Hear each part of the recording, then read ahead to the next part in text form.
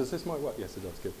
Um, so I came here, I think, just after I'd published my book, um, when 5 by 15 was just getting going. And if I cast my mind back, my goodness, food waste activism used to be a very lonely place. It consisted of going around the back of supermarkets, rummaging in their bins, and getting journalists to come along to kind of expose the iniquities of the current food system. Um, so the fact that I'm now sitting here with one of anyone in the food world's ultimate heroes in terms of sustainability, gastronomy, and the rest of it, um, it's been a massive journey to go from an issue that back when I started campaigning on food waste was a non-issue, no one talked about it, no one, uh, well, it was literally being slept, swept under the carpets by all the supermarkets. Governments didn't have any policy. It's now more or less impossible to be a food company without um, having policies relating to food waste.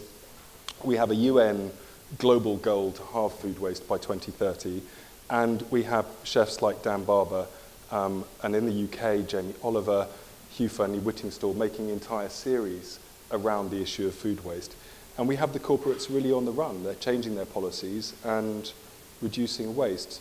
Um, so it's been, it's been a nice journey, and it's nice to come back here because it was with Rosie Boycott who um, was the first person to believe. I'd written this book, okay, 350 pages of tightly argued, lots of facts. So I had written this book, and then I thought the best way of communicating this to a wider public was to organise a massive feast, feed 5,000 people in Trafalgar Square.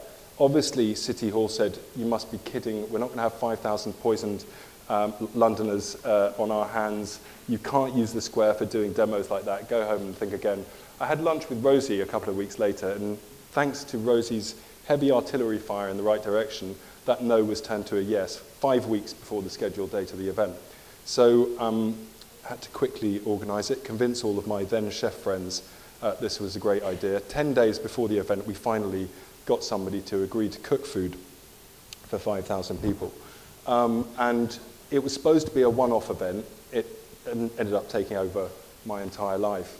What we had realized um, in the course of organizing this event is that pretty much any organization, any individual, any serious figure involved in food or the environment saw this as a colossal opportunity to galvanize public action not just to tackle food waste itself, but to build a movement globally around the fundamental paradox at the heart of the food system, which is it's our single biggest environmental impact on nature. Food waste is a way of exposing the core problem, which is that we're being told we need to double food production, whereas in fact we already produce enough food for 12 billion people. And what Feedback does, it goes around the world. This was um, a trip I did to Peru, exposing just how much of the food we're already producing is going to waste for no good reason. Those were like a thousand tons of oranges or tangelos being produced in Peru. So cosmetic standards applied to our fruits and vegetables that say they have to look perfect. And um, of course, nature does not produce uniformity and perfection. And therefore, you know, carrots that are literally too long, can you see these slides or do we need to dim the light slightly? Carrots that are too long to fit into supermarket packets get discarded, and uh, green beans get trimmed so that 15 to 20% of the green beans that are grown by farmers in Kenya get discarded just so they fit into supermarket packets. It's a colossal problem, but we need to convert it into a celebratory solution that galvanizes public action and really directs blame where it needs to, to fall. Um, we organize, uh, as, uh, as you heard, Feeding the 5,000 events. We've now done it in 50 cities worldwide to get um, people together to celebrate the delicious and nutritious solutions to this colossal global problem. We try to make it fun and we try to make it punchy. We've organized them you know, on pretty much every inhabited continent, launched national campaigns to take on the supermarkets and their policies relating to food waste, and have really helped to um, change their, their policies. We get volunteers to go and gather fields, uh, fields full of, of crops that are being wasted and, and give them to charities that feed the hungry. And um, by galvanizing public uh, reaction, by getting media coverage, we can put pressure then on the supermarkets to change their policy. So I mentioned the, the trimming of beans. This was an issue we took to Tesco a few years ago, and um, they decided that the waste that they were causing in their supply chain was unacceptable even to them, and also that the reputational damage that they were going to get for causing waste in Africa and not paying farmers for essentially food that was being grown just wasn't worth uh, uh, uh, you know, carrying on because of the sheer embarrassment that it could cause them. So we got them to agree, first of all, only to trim the beans on one side, and we, got, uh, we felt we'd gone halfway. That by itself saved 30% of, uh, of all of the waste in their supply chains overnight. Um, and then a few months later, they decided not to trim the beans at all. They realized that by not trimming the beans, this extended the shelf life of the beans, and customers preferred it. So it was kind of this totally absurd example of food waste, right like at the pinnacle of absurdity and the overarching paradox of the food system, and you turn it into a kind of win-win edible solution. Um, so there are ways of like making concrete changes to our food system that are not that difficult to achieve and that together we are pretty much obliged to do. Um, I'm going to end on a kind of, uh, before turning to Dan and looking to him for the gastronomic implementation of all of these ideas, um, and, and, end by um, just making a point about um, how we can solve this through celebration. Um, back in 2008, I visited a sandwich factory that was wasting 13,000 slices of fresh bread every single day. And I discovered that this was the norm in the sandwich manufacturing industry. All of the crusts, those heels of the loaves, were being thrown away. And inside the first last slice of each loaf, uh, they were throwing away those crusts. In fact, I stood on this stage and ranted about this very thing several years ago. It's always pissed me off, and I've never got anyone to come up with a crusty sandwich to sell in Eat or, or Pret a Manger. Um, all we could do is convince these places to send it off to, to pigs to eat um, as livestock feed. Um, until I met a brewer in Belgium uh, about a year and a half ago who was turning beer, uh, turning bread into beer. And I just thought this is such an amazing idea.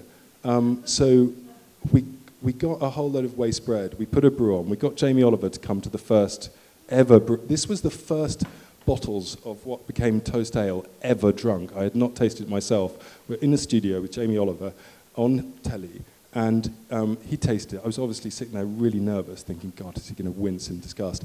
Um, he said it was blooming good. Um, what's uh, turned from a great idea it has turned into a great business.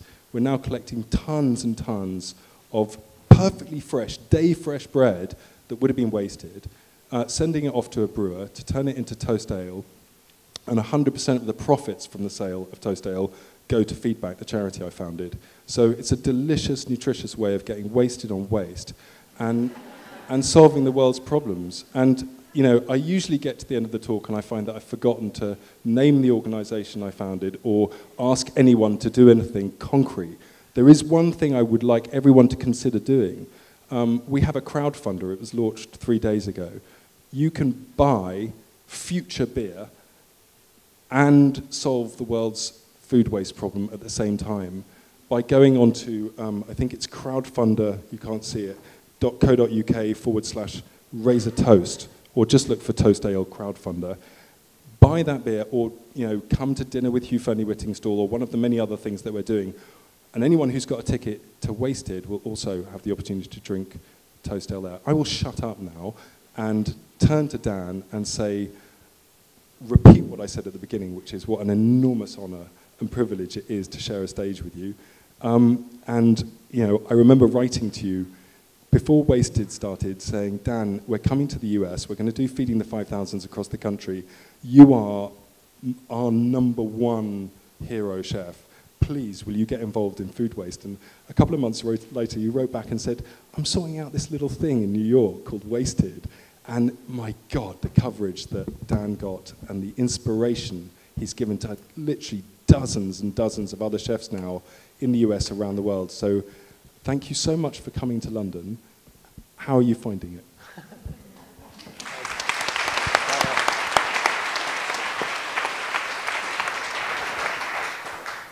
I think I, am here in London in part because of Tristan, even though I, have only just recently met him. We, we um, Blue Hill is the restaurant that I'm the chef for. My, my brother, who's in the audience, my brother is a co-owner. Uh, he and I opened with our sister-in-law, who's the designer. We like to keep everything in the family. Um, we, we decided to turn one of our, we have two restaurants in New York, one in the, in the West Village and one that's located on, a, on an old farm just outside of the city, we decided to, to turn one of the restaurants, the, the one in the middle of the West Village, this old speakeasy, into a, into a pop-up that was devoted to food waste, shut down the restaurant and reopen it the next day, reimagined as a restaurant that, that offered a menu of food items that had been intercepted on their way to the garbage can or, or the compost pile. Uh, we got that motivation and the confidence to do it. Actually, we didn't have a lot of confidence going into it, but we had some degree of confidence that if anything, it was based on the work that people like Tristram are doing, and, and, and in particular Tristram because it, his work has reverberated around the world and certainly in the United States, where I consider the issue of food waste to be quite a bit behind what has penetrated the consciousness of the UK.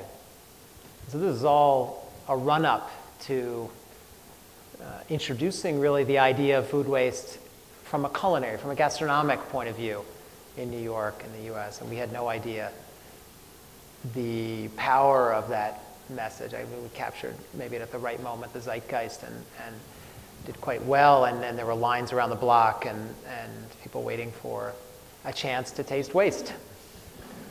Uh, we found that very interesting. Uh, we also did it in a context of of real pleasure and delight, and that we weren't, we weren't pontificating or admonishing the, the, the wastefulness of the everyday American. We were actually celebrating what was left over.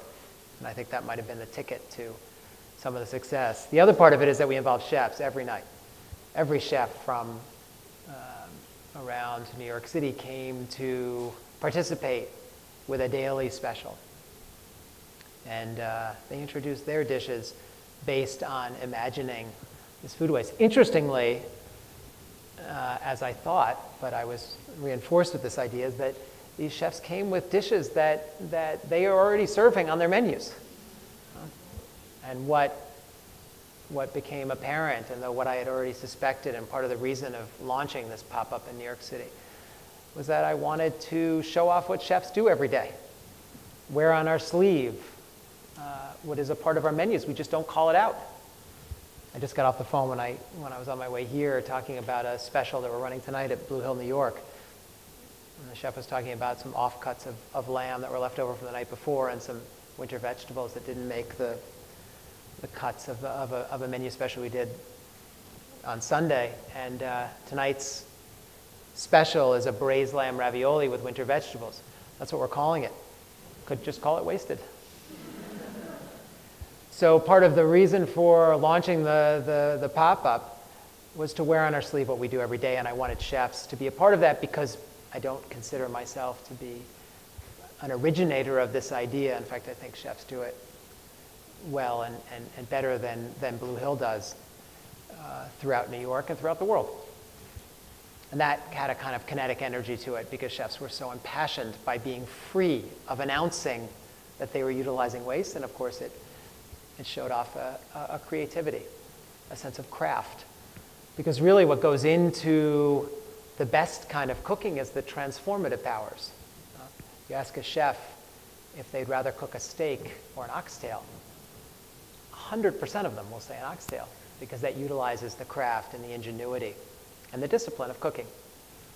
And that too raised an issue for us, which was in this, in this problem, this daunting problem of food waste.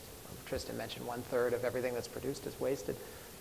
Can we look to gastronomy, to chefs, to restaurants, as not just places of enjoyment and escape from our everyday worlds, but actually of, of, of uh, answers to this daunting problem? Can we look at menus as places that connect to this issue in ways that uh, are celebratory and delicious? And so what's up on the screen is one of the dishes that actually we've transported to London we got a call from Selfridges We got a call actually from all over the world, which now that I said that sounds very Trumpian.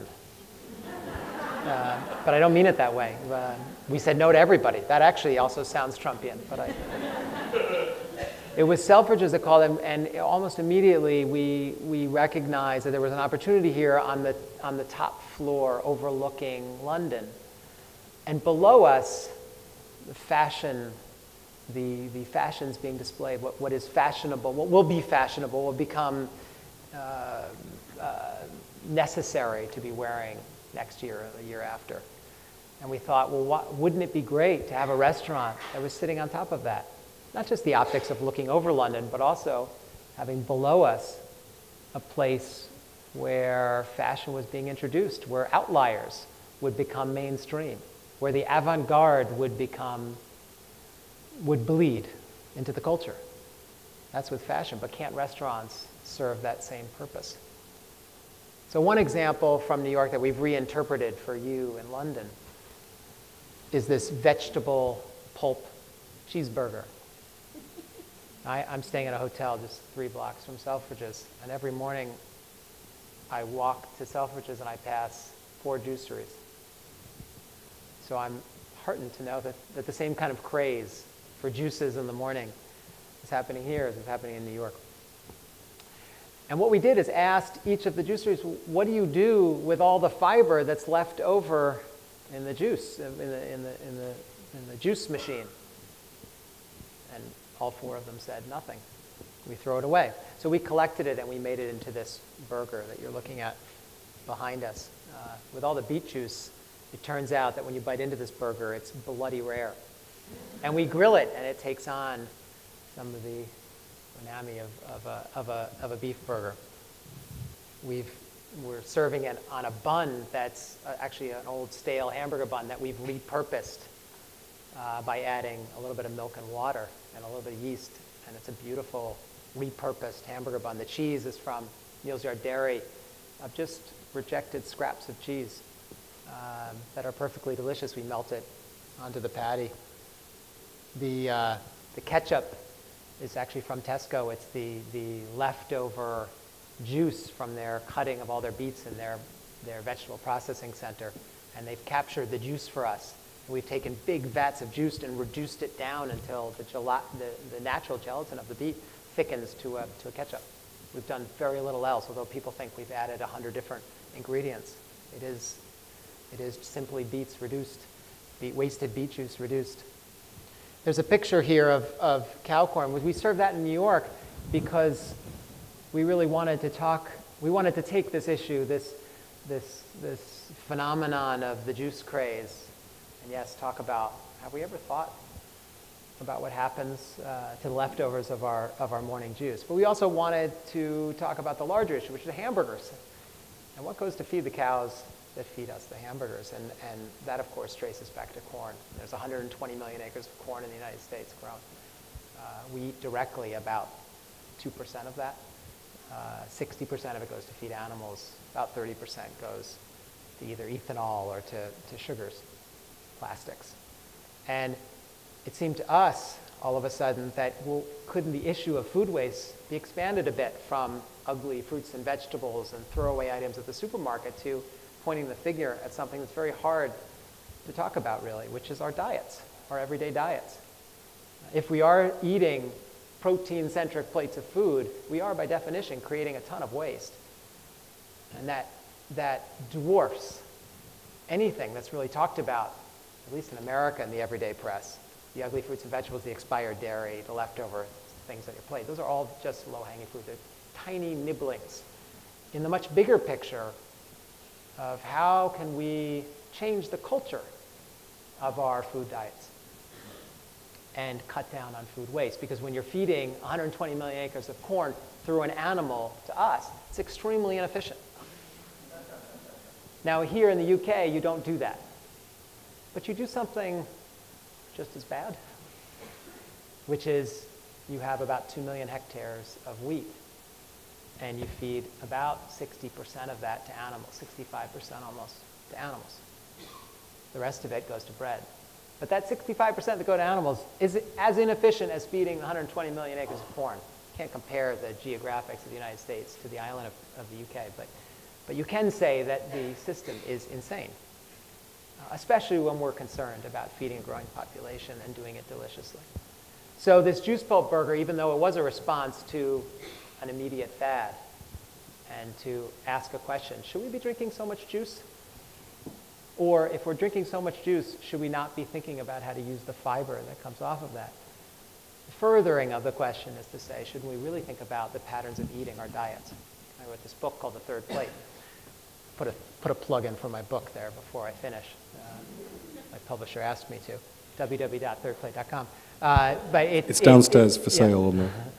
It, it was really a wake-up call to me to study, for, as I wrote the book, that cuisines around the world have done just what I'm talking about. They've soaked up waste through their, through their cuisines, through their, you've done it in Great Britain, haggis, shepherd's pie, blood sausage, bubble and squeak, uh, all of which we've hoped to, to reinterpret without offending uh, you all uh, in the wasted menu because they are based on waste, as, as every cuisine is based on peasantry and this negotiation with the landscape of how do you utilize what the soil will produce and do it deliciously and nutritiously. Um, as I said to my cooks yesterday, the Japanese uh, grow, eat a ton of white rice. Uh, the rotation into white rice is buckwheat in most of Japan. Uh, breaks up disease cycles and allows you to have a very good harvest of, of rice. The Japanese did not take buckwheat as we do in the United States and feed it to dog food. They created soba noodles.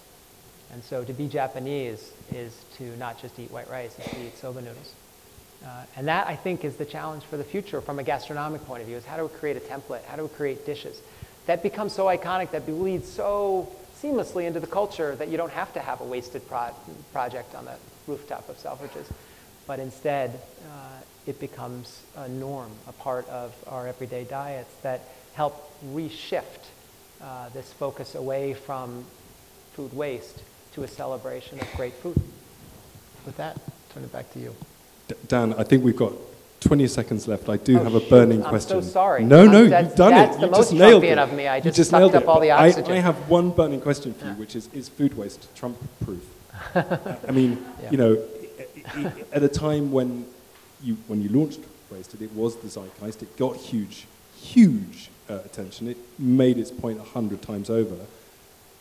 In the present political climate, is food waste one of the few things that we can continue to make advances on? Or well, you're going to have to out? tell me because I feel in many ways you started this thing. So what is the next chapter of, of where we go? And then I'm going to sort of copy you and try and move it forward.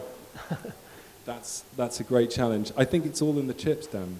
I think we've used food waste as a window to open up this, the core paradox, the waste, the absurdity of the way in which we use our land and our resources. And it's about giving everyone a way to eat their way out of what is one of the world's biggest problems and turn the food system into our biggest tool for tackling them. That's what the third plate's all about, and we've just got to carry on that path. I well, think. thank you for inspiring me to be here in the UK and for all that you've done to inspire this movement around the world. Yeah, I, I mean, I feel very sorry for everyone who isn't going to taste taste your message because you are a beautiful speaker, presenter of the whole idea. Nothing compares to actually eating this man's food, which I've done in New York and I look forward to doing in, in London. Um, so I'm massively grateful to you. Hands up, who's got a ticket for WastED? A few lucky, a few lucky individuals. You need to come back again. you need to come back again, Dan, for WastED Thank you. too. Thank you. I love it here. Thank you. Thank you.